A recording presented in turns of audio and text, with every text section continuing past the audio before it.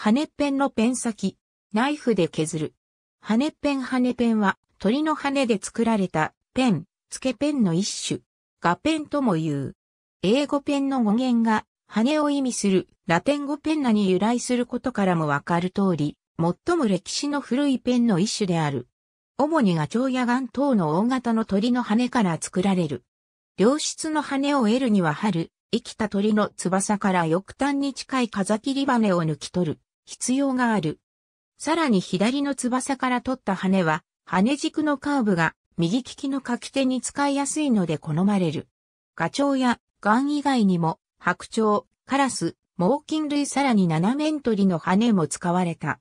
抜き取った羽は、根の部分をカットし、筆記に使えるよう成形し、切れ目を入れる必要がある。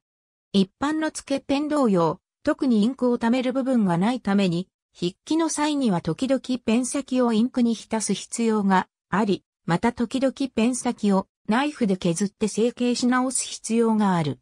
この目的に使われるナイフをペンナイフと呼び、ペンナイフ独特の刃の形をペンブレードと呼ぶ。